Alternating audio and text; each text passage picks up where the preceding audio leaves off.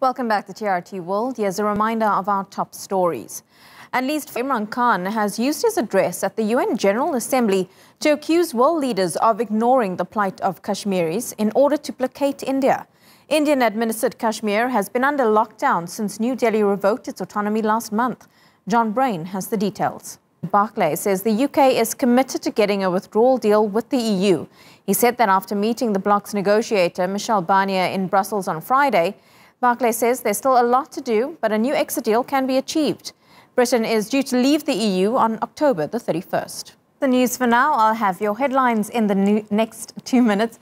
Do stay with us right here on TRT World. You're watching TRT World. I'm Yashini Padayachee with a reminder of our main headline. Is coming up next.